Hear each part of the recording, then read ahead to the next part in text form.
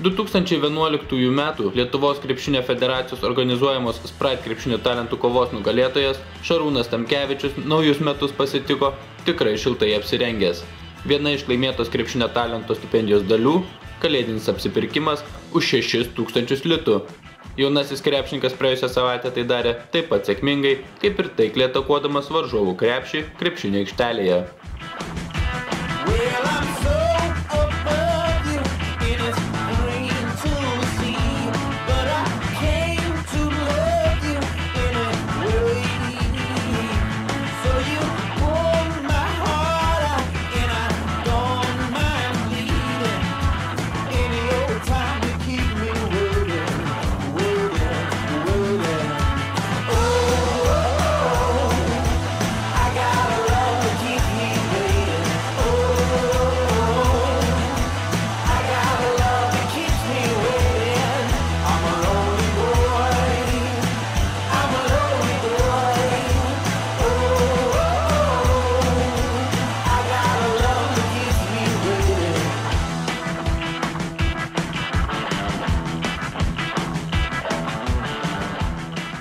Viskas prasidėjo nuo pirmo turo Vilniuje, tai iš tikrųjų irgi gerai pasisekė.